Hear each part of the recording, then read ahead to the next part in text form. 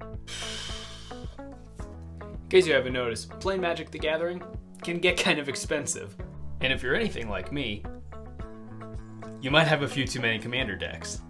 But that's because part of what's fun about this game is constantly trying new things and building a bunch of new strategies and seeing what you like, what you don't like, and maybe you like a lot of things. So, how do we do this? How do we get to a point where we can build a lot of good decks without having to spend tons and tons of money? That's what I'm to show you today. The most helpful tip I can give you to save money to let you do things like this build a bunch of commander decks with a bunch of different strategies is right here.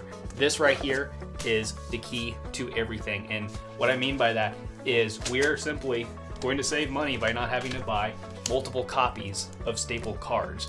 And I'm going to go ahead and show you a better example on what I mean by that.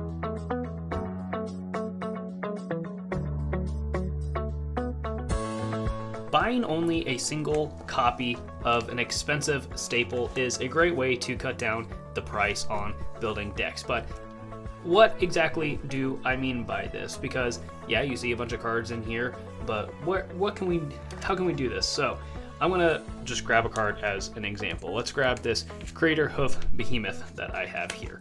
Uh, I have this Craterhoof Behemoth in two of my decks. I have it in my Muldrotha deck, and I have it in my Druid deck. So I'm gonna crack both of these decks open and show you what I'm doing to make way for this single copy of Craterhoof Behemoth. You didn't see that.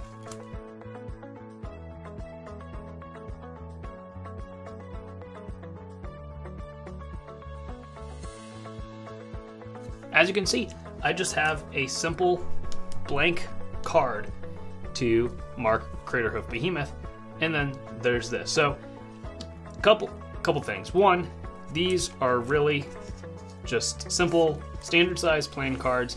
Uh, you can buy blank copies on Amazon. You can get like a pack of like a hundred of them for like 10 bucks or something crazy like that. And that's a great way to do it. And if you want, you can even write out what the card does.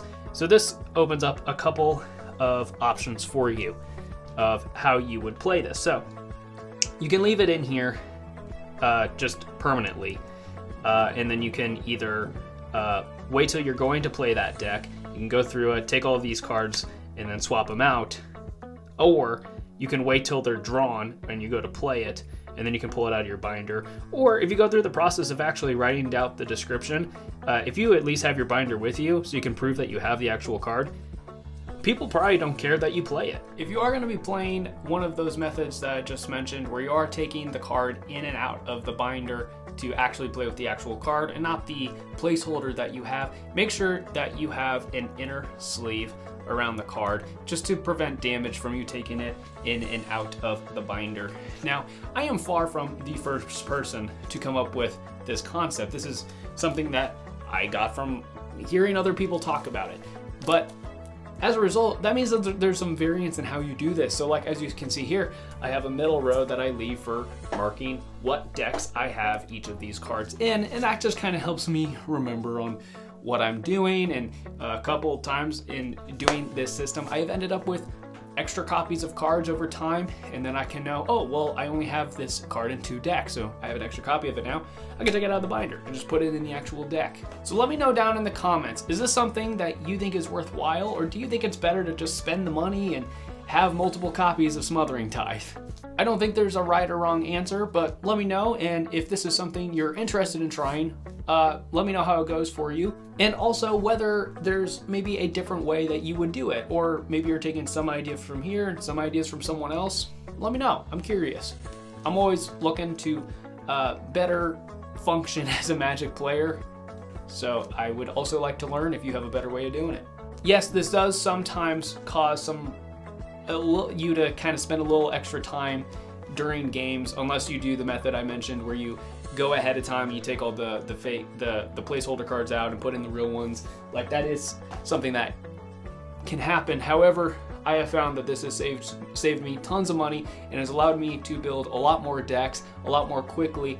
And also, it keeps you from being in a position where you buy cards because you think they're going to be good for the deck, but then after you play, you're like, maybe this card isn't so good in the deck. And if that's one of the expensive cards, that's a real feel bad. So I have found this method to be absolutely a life-changing lifesaver. And uh, especially with our commander series coming out very soon make sure you're subscribed so you see that when it comes. Uh, this method is really going to help me keep up with all the new decks that we have to build because uh, we're having a different theme every game. So this is really going to help me keep up with that. But let me know in the comments what you think about the method. If it's something you've tried before, if it's something you're going to try, let me know. Make sure you're subscribed. We will be having more budget friendly suggestions here soon. And like I mentioned, a Commander gameplay series coming very soon. See you guys later.